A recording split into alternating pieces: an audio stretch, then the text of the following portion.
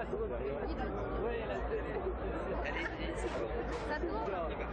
On y va. Donc Paolo de Coda. Tu peux nous expliquer en trois mots ce que c'est Coda Euh, Coda, c'est un magazine qui a 3 ans et euh, c'est un peu l'étendard du rêveur. Euh, on essaye de, de faire des reportages, de, de faire des dossiers, enfin un petit peu tout ce qui se passe au niveau de l'activité techno. D'accord. Là, c'est Daft Punk, c'est ça? Qui es-tu, jeune homme Luigi Manuel. D'accord. D'accord, d'accord. Coda, qu'est-ce que t'as aimé? Qu'est-ce que t'as vu? Qu'est-ce que t'as apprécié? À part euh, tes amis? Bah écoute, euh, enfin, par rapport au trans, ce qui est vraiment intéressant, c'est qu'il y a l'institutionnel qui a rattrapé un petit peu l'andregorn, et euh, à partir de là, c'est d'autres villes qui vont pouvoir découvrir la techno. C'est-à-dire par exemple, actuellement dans la, dans la techno, il y a Lyon, Toulouse qui sont sinistrés. Si Rennes pouvait un peu reprendre le relais de tout ça, c'est vraiment intéressant. Et par rapport à- au trans, ce qui est vraiment intéressant, bon, leur, ce qu'ils ont fait euh, et euh, bon, les Chemicals, les n'est pas fini, il y a eu Saint-Germain qui était vraiment fantastique, et des grands moments, hein, priori. D'accord. Tu considères euh, ces jeunes gens comme la relève euh, française ou- C'est quoi cette question C'est une question à deux francs de 4 heures du matin. Non, enfin, euh, c'est peut-être la transition par rapport à un public qui n'est pas habitué à des sonorités nouvelles et qui vont faire qu'ils vont apprécier cette musique. C'est, euh, enfin, je vais pas les flatter, mais le Daft Punk, a priori, c'est euh, c'est une transition qui, euh, qui est évidente. quoi. Ouais, Daft Punk, vous avez remixé Chemical Brothers. Ouais, Comment ça s'est fait?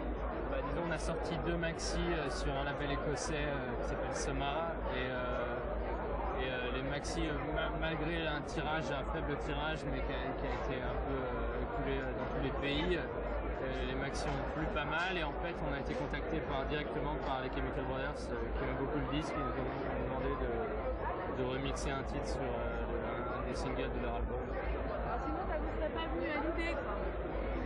Bah, disons que dans, un cadre remix comme ça, étant donné qu'on avait pas, on avait fait quelque chose, quel- quelques petits trucs avant, mais pas vraiment de, de, de- de gros trucs, ça peut toujours venir à l'idée de remixer, mais bon, on attend que les gens nous proposent. De toute façon, on n'est jamais, on n'a pas vraiment une attitude où on va voir les gens. euh, on a toujours attendu que, que les gens se- s'intéressent à ce qu'on fait plutôt le contraire. On dit que euh, la scène française est tellement pas intéressante qu'il fait de la musique pour les autres, et surtout pas pour les Français. Qu'est-ce que vous en pensez? Il ne faut pas confondre la, la scène française et le public français, parce qu'à ce moment-là, ils confondent les deux. À mon avis, euh, je pense que la scène française est, en train de se développer d'une part, et de l'autre côté, le public français euh, est, en- train de, commencer à apprécier des bonnes choses. Donc, euh, je pense pas du tout que ce soit une.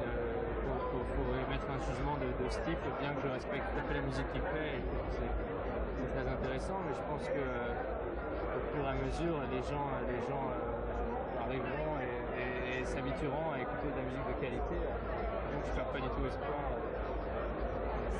C'est pas un label hyper sombre, c'est pas hyper sombre tous les groupes qu'il y a sur Soma, non? Non, non, c'est un label, c'est un, des, plus importants labels euh, indépendants de, bon, c'est un label écossais euh, qui, a, commencé en 1990-1991, qui est un des labels indépendants importants de la, scène euh, house et techno euh, britannique, qui a sorti à peu près une quarantaine de maxi, donc euh, qui, est, devenu assez, assez important, disons, en termes de vente qui les, les, les groupes les, les plus importants Euh, le groupe le plus important, c'est donc les patrons du label Soma qui s'appelle Slam, qui a sorti euh, plusieurs, euh, plusieurs disques. Et puis sinon, c'est vrai que euh, notre disque a bien marché en termes de vente, c'est tout.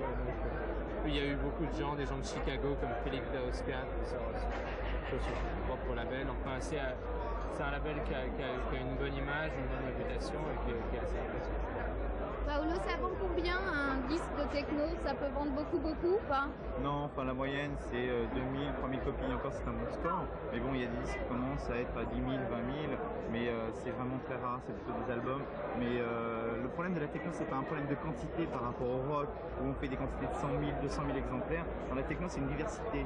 Et euh, c'est un artiste qui va faire non pas les 100 000 ou les 200 000 copies, mais euh, va sortir des disques euh, régulièrement. Quoi. Et c'est ça, enfin, la scène techno est intéressante à ce niveau-là, c'est que la production musicale n'est jamais figée sur quelque chose.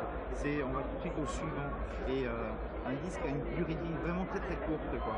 Et euh, c'est, ça fait... euh, c'est assez impressionnant la production de, vinyle, en tout cas, puisqu'on a relancé un petit peu l'industrie du vinyle. Il y a des, des, des usines qui, sont réouvertes, en tout cas par rapport à Conseil, qui a racheté une usine pour presser du vinyle.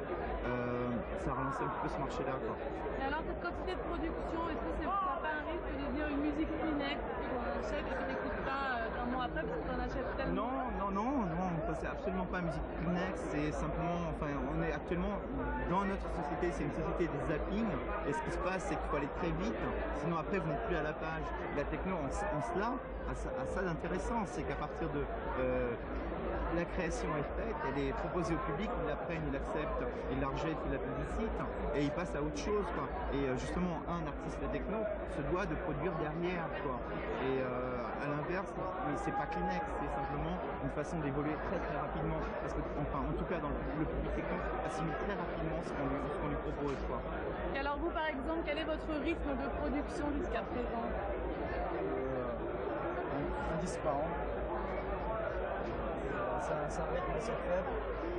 Euh, parce qu'on euh, on a été paresseux, je sais pas maintenant, ça fait longtemps qu'on a pas de musique, mais on était un peu paresseux avant. On avait des problèmes aussi.